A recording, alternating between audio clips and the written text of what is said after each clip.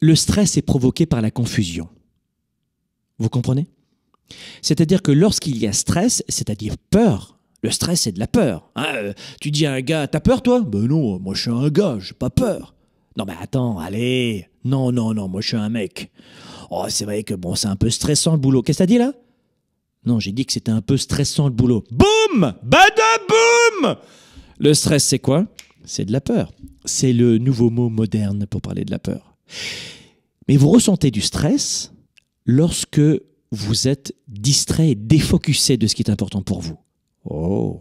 Donc la meilleure façon d'avoir un mental d'acier, c'est de commencer la journée en donnant un ton positif pour le reste de la journée.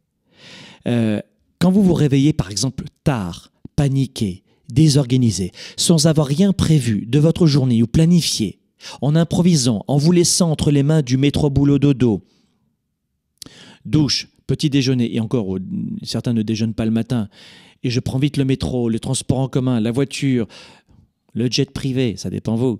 Mais vous ne pouvez pas commencer votre journée comme ça. Si vous commencez votre journée dans la confusion, il y a beaucoup de gens qui vont me dire Ah, mais moi, c'est pas mon truc, moi je suis un artiste, j'aime improviser.